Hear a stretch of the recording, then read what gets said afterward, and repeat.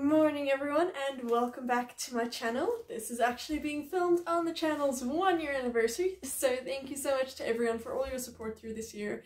This channel really would literally not be able to happen without you guys, so thank you so much for all the support. So today's video is technically one that I've already made, so today is going to be all about how to get into vet school, everything you need to know all about that, which I actually did do the one about how I got into vet school. I made two videos about that. So I'll have them linked in the description if you want any more information on this topic, if you want to see how I did it, if you want some extra tips, then you can definitely go and watch those. So I uploaded those and I feel like I covered everything in them, but I still get so many questions about the process, about advice, about a bunch of stuff around it, so I decided to just make another video to have all the basics compiled into one video so that it is just easier to access. I am going to go through this on a fairly basic level. I'm not going to go into depth or go too much into how I did it. I'm not going to go too much into advice that I have for these things because that's what I did cover in the other videos. So this is just going to be a basic factual approach to everything you need to know about how to get into vet school in South Africa. So let's get started.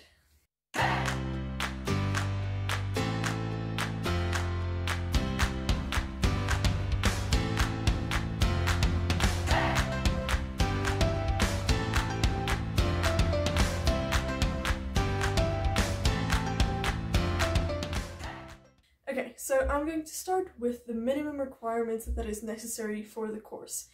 So firstly, you need a matric certificate or an equivalent thereof. I have no idea what that is, but you need a matric certificate or an equivalent thereof. Then you also need to have subjects mathematics, not mathematical literacy, unfortunately, but you have to have mathematics, physical sciences, and English. English can be first additional language or your home language. It doesn't matter which one you have.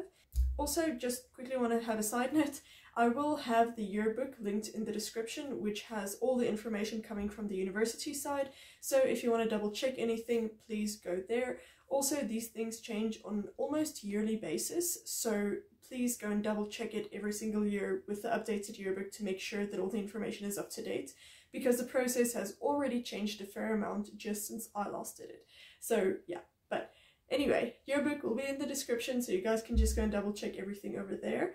Then the next thing is that for those three subjects of math, science, and English, you need to have a minimum APS of 5 for each of them, which is the equivalent of a C, so 60% or higher. And then the last requirement is that you have to have a general APS of 35. And remember guys that life orientation does not count towards your APS, especially for vet school. They really do not care about life orientation because they know how much of a But anyway, um, life orientation does not count for your APS, so you need a matric certificate or an equivalent thereof. You need math, science, and English with a minimum of a C for each of them, minimum APS of 5 for each of them, and then a general APS score of 35. Having said that, just because you meet the minimum requirements for this course does not guarantee you a spot. I know a lot of courses have a thing of if you meet the minimum requirements, you apply, and then the top, you know, and then the first 50 people who apply get in. Whereas with vet school, there, there is a lot of strong competition. So there are a lot of people who apply and not a lot of places. So meeting the minimum requirements definitely does not ensure that you do have a place in vet school. Um, I know of people who had 90s averages who didn't get in. I know of people who had 70s averages who did get in.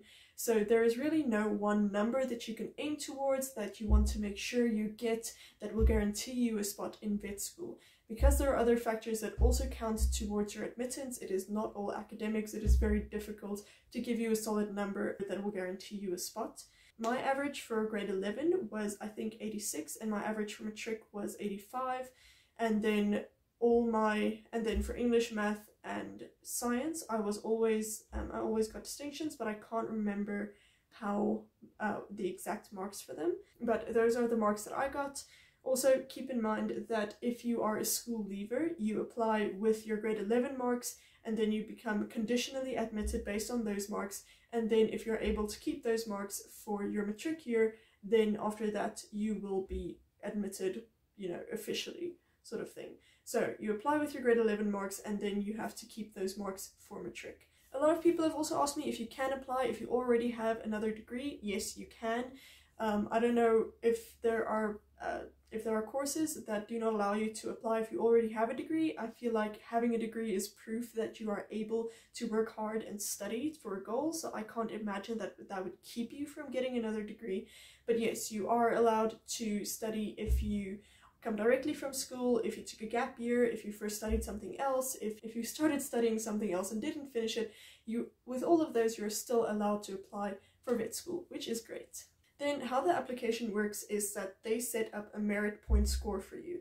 And then they take all those scores, they put it on a long list, and then those with the top scores, I think it's top 200, get admitted. So how the merit point score works is that it takes the marks from your math, English, and physical science, as well as your value added form. Your value added form is basically everything that isn't math, English, and science. So it is all your extra activities, your shadow work, your volunteer work, your animal experience, all of that all goes into the value added form. So 40% of your merit point score is from your math mark, then 20% is uh, from your physical sciences, 20% from your English, and 20% from your value added form. That all comes up to 100% and then that is then your merit point score on which you are then admitted into vet school. So starting with the value added form, the first um, I will have a little screenshot of what it looks like at the moment um, and then I'll go through the sections one by one. So it has already changed a fair amount since I was here. The first part is the balanced lifestyle. So that has all of your extra activities. This is an extremely important part for the university, especially for vet science, because it is such a difficult degree and because so much of the degree is academics, they really want to make sure that you do have other things that you can also focus on. Because I promise you that in the six years that you are studying for this degree, your academics will fall apart about at the minimum once a year. So if your entire life revolves around your academics and it falls apart every now and then as it does, then your life basically ends every single time that something goes wrong with it. That is why they're very strict on making sure that you have other things that interest you, that you are focused on, that can help you through the crappy academic parts. So they have things like, I can't even remember what everything is, and I'm recording with my phone, and the picture is on my phone, so I can't check. But it is things like, I know there is sports and culture, and I think there is also like school council or something. And then there is also other and adventure. So adventure, I we didn't have that, so I don't know what is supposed to go there. I think maybe, for example, if you do White River rafting or you go on hiking tours or something like that, I'm guessing it's something like that. But with everything that they do mention, I have no idea what other is. Like seriously, what like what is left for you to put on there? But anyway, and then they have little drop down menus and then you can either say not applicable so you didn't do anything for that thing and then you can say member or leader. So leadership is extremely important to them just because it proves that you have leadership qualities. It also proves that you're able to take on responsibility and work with people. All of those are very important for vet school so if you can prove that you're in a leadership position that really counts in your favor. Then you also want to try to be at least a member for each of those things just because it looks good if you can say something about everything. Having said that, a lot of people tell, ask me, hey, um, I never did sport in school or culture or anything. I never did anything. Um, am I going to get in? I don't know. so it depends on the competition for that year. If there are a lot of people who didn't do anything, then you have a then you have a fair chance of getting in. If you're in a year where everyone did everything constantly, then you probably won't. So my rule with this is try anyway, because you will never know if you could have succeeded if you don't try. I know it's a cliche, but it is literally true, especially in this case, where if you don't apply for vet school, there is absolutely no way for you to get in. So don't be like, oh, I don't think I'm going to get in, and then you don't apply, because then you're guaranteed not to get in. So try, and then you might. You might actually get in. So try to say something about everything there. If you had any kind of leadership position, put it in there. You know, for example, for me, I was the, uh, what's it, second in command captain, like the under captain thing for the horse riding team. I put that on as leader because I was one of two leaders. So make sure that you put any kind of details on there. The next is your animal experience one, and this one is extremely important. I don't know if it's still like this, but when I was applying, the rule was that if you could not check all three of those boxes, you were not even considered for your, your application was not even considered. So I don't know if they're still that strict because with us for the animal experience, they had a much more extensive form and you had to write like paragraphs about what you did, what what was your experience with these animals, you know, how you know, all of that and like you had to say with all the different animals, all the work that you did, it was a lot more extensive. So I almost feel like our form was more fair, even though it was such a pain to fill it out. But now for animal experience, it is just three things. So you have to see an animal being slaughtered, an animal being killed for humane purposes, so euthanasia, and then also a live birth. So live, meaning you can't just look at these things on videos, it's not the same thing. All of these things you have to witness in person, which is honestly made a lot more difficult with the current situation. Like even now, I was trying to shadow at bits in the past, I don't know, few months, and they don't allow anyone in because of COVID. So it does make it a lot more difficult, but do your best to get to cover as much as possible in all of these aspects of the application. A lot of people also ask me where they can witness these, these things, what advice I have to see these things, because it isn't really something you see on a day-to-day -day basis or even on a day-to-day -day basis at a vet. Also, what's something that makes it difficult with euthanasia is is that it is a really sensitive subject for a lot of people. A lot of times it's someone's pet that they really love and they really really want some stranger standing by just to see the animal die. Okay, it's it's not really something that is very easily seen. So my advice for seeing a live birth is to either go to a breeder or go to a farm in the lambing or calving season because usually the breeder or the farmer are pretty aware of when what happens because they want to make sure that everything is fine, that if the sheep or the cow or the dog or whatever um, has help if they do need it. So that would be my best advice for seeing that. Also, with all of this, make sure that you have enough time to go and see this.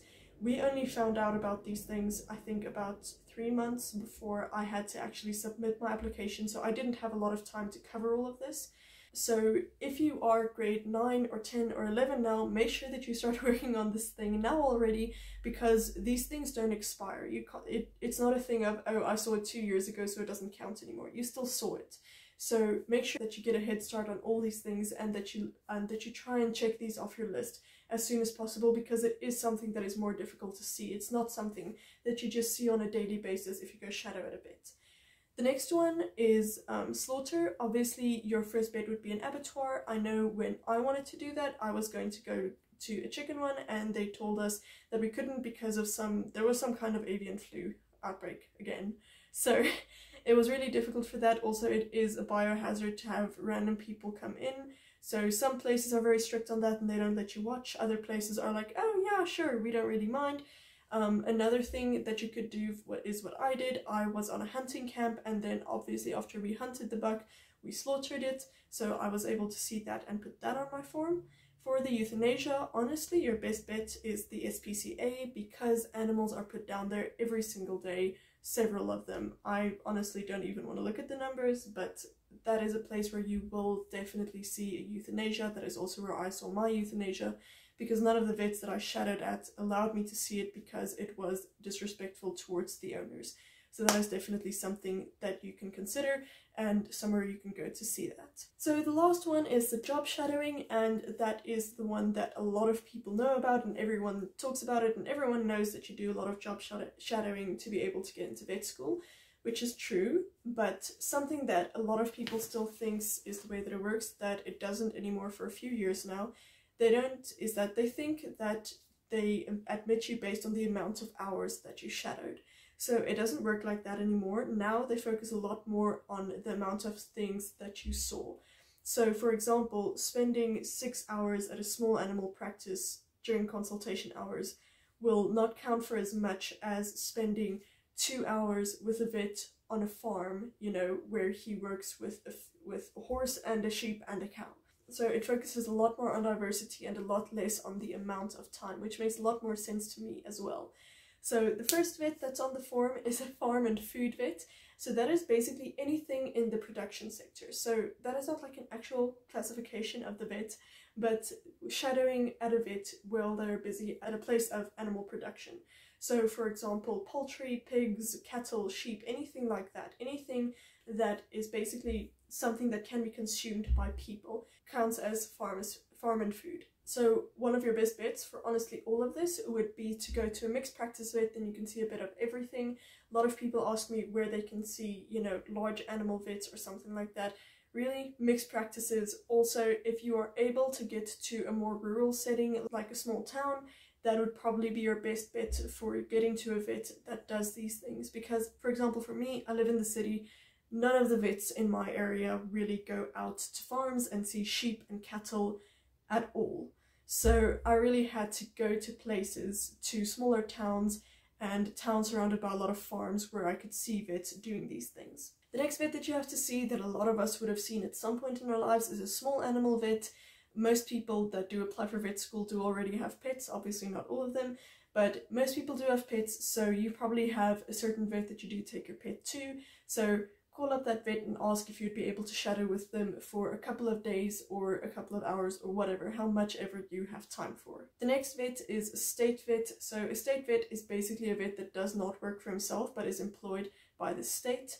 So the state vet that I went to was in De Aar, so once again, smaller town, more rural setting, because most people that work for themselves will prefer to do it in a big city where they have a lot more clients. So usually you would, it would be easier to find a state vet in a more remote setting. Then the next category is others. So their example is research or academia. So the problem with that, and I can safely say that not me or any of the people that I know of were able to check that box. I'm sure that there are students who are able to check that box, but I don't know them because the people that work in these facilities really aren't very enthusiastic about letting random people in, letting people just look what they do. Also because it is a fairly boring thing. It is not something that they get requests for frequently. So I know that I contacted a couple of places and they were like, no, they don't allow anyone to shadow there. So I was not able to check that box. If you do get to check that box, awesome, great for you. But if you don't get to check the box or any of these boxes, it's really not the end of the world. Just do as much as you can. Then the last one is welfare organizations. So for example, shelters and stuff like that if you can shadow with the vet there, also if you can just volunteer there, that also shows any kind of welfare work or community service work really does count in your favor as well. I know for us there was really an, a whole separate section on community service, you know, anything where you were basically, you made donations or you volunteered or anything like that really counted in our favor. So even if there is not a section for it anymore on the form, you can always still upload it with the rest of your documents that you upload for proof. So try and include those things as well wherever you can. And then something that is not on the form, but that is more my personal advice, is make sure that you do see surgeries. So they do not require this from you, and although I think this is pretty much covered by the slaughter part, a lot of people don't see surgeries before they get admitted and then they get to their first surgery or their first anatomy week or their first pathology practical and they see the dead animals and all the blood and all that and they can't handle it. And honestly, that is not the point where you want to realize that you cannot handle blood. Really, this is something that you want to know before you even apply for vet school. So make sure that you do see a fair amount of surgeries, different kinds of surgeries, also make sure that you do shadow at different kinds of vets. Once again, it is not a requirement from the university side, but it is something that is good for you. It helps you make sure that this is what you want to do. It helps you see the different ways that people do things, and it also teaches you some vet related stuff that you are able to use once you're studying. The big thing that I get the most questions about is proof. So everything that you have now filled out on the form, you need to upload proof for. So you fill out the form and then you upload all your supporting documentation. And that is all your proof. So for most of it, it is fairly easy. Say you were the school um, council leader thingy, that whole thing. If you were in that kind of position, usually the school would give you a certificate to say, hey, congratulations, you did this. Then you can simply take that and upload that. Um, for things that don't give you certificates, for example, my horse riding I did not do at this school, so I did not have a certificate for that. So I simply wrote out a statement that said, Nina did horse riding for 10 years at these and these and these stables. And then I had my instructor sign it, and then I also put her contact details there. So if they were going to question that kind of proof, then they could call her. None of the people whose numbers that I added to any of these forms were ever called, but I always feel like rather have it not needed than need it and not have it. So I always added people's numbers to these kind of things so that if the university wanted to double check anything that I told them or had or added to my documentation, that they could double check that. Then also what you get with the shadowing um, on the whole value added form thing is that they give you a form that you can that the vet should fill out which is really nice. It is pretty extensive and you know it's very easy for the vet to just fill out. But a lot of people, including me, a lot of the shadow work that you did was before you got the form. So for example, I started shadowing when I was grade 9 and I only got the form when I had already started my application and I was already filling it out in Matric. So a lot of that work could not be added to that form because I have no idea where the vets are anymore. I don't have their contact details anymore. They probably can't even remember I was there. So what I did, even, you know, since I started shadowing, was that I had a form that I set up myself that the vets could fill in that had their name, the practice name, their contact details, their signature, and a basic, you know, a basic small little paragraph of everything that I did. So I simply took those forms and I uploaded it just like that and added it to my supporting documentation and it does still count. It doesn't stop counting just because it is not on the specific form that they gave you once you were already done with all your shadowing. So any kind of proof that you can upload does count. So even though it is not the preferred one, don't throw it away because you think it doesn't count anymore. Once again, add everything that you can. Even if you think that it's not important or you think that it's not necessary or you think it won't make a difference, just add it anyway because then you have that chance of it counting in your favor. What I also did with that form was because it was fairly specific to vets, it the, the form isn't really very diverse, so that was a pain.